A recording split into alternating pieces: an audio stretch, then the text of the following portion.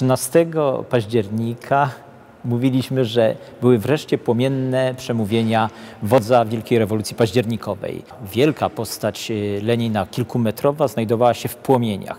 Próbowaliśmy wcześniej wywrócić ten pomnik za pomocą lin, dźwigów, ale był na tyle stabilnie osadzony, że nie dało się, więc w desperacji, okładając go ławkami, podpalając benzyną, który był oblany, y, doprowadziliśmy do pożaru. Zebrany został cały, cały y, cokół tego pomnika, także na tyle, na ile mogliśmy znienawidzoną postać wodza rewolucji dopaść, to, to, to zrobiliśmy to.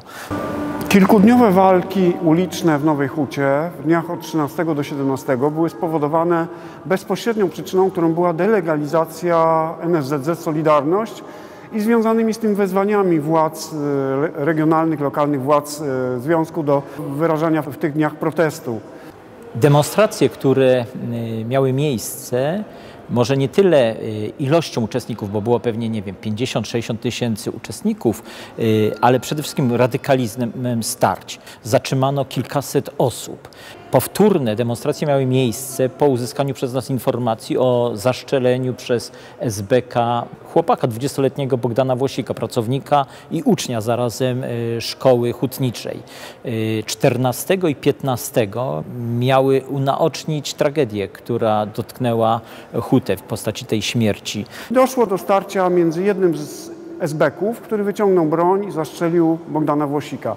De facto to napięcie rozładowało się dopiero po pogrzebie. Miały miejsce dramatyczne y, chwile, gdy udało nam się rozbroić na przykład dwudziestoparoosobowy oddział y, milicjantów, zomowców, nie? którzy wpadli na y, łańcuchy oddzielające drogę od chodnika i tłamszony, skotłowany tłum tych 20 chyba 6 czy 8 milicjantów rozbroiliśmy właściwie do naga. Część poszła nago na komendę na zgody, część tylko tylko y, w majtkach. Zdobyty został posterunek y, za y, kościołem Arkipana na Złotej Jesieni. 15 milicja przywiozła z całej Polski olbrzymie ilości, takich ilości funkcjonariuszy, jaka wtedy wylęgła na ulice Huty, nigdy wcześniej ani później nie było. Potrafili po mszy 15, która miała miejsce w Arce Pana, otoczyć właśnie cały kwartał osiedla, a także po mszy nam już nie udało się y, wydostać i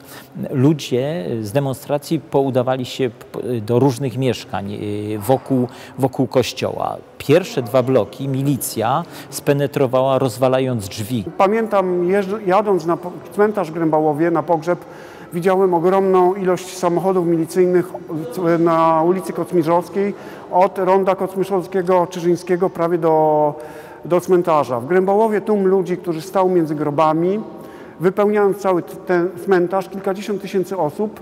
Dopiero właściwie uspokojenie tego przyniosła, yy, przyniósł pogrzeb, pogrzeb yy, Bogdana Włosika 20 października.